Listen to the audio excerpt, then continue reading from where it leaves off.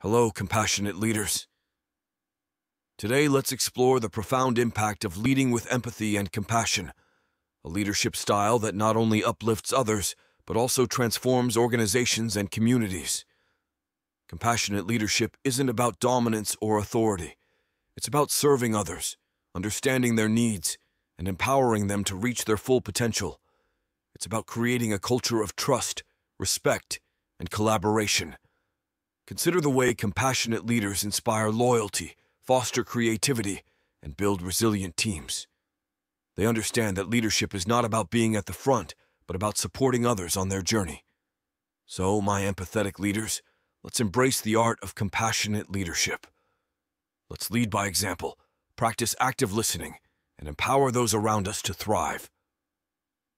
Remember, a compassionate leader not only achieves success, but also leaves a lasting legacy of positive influence.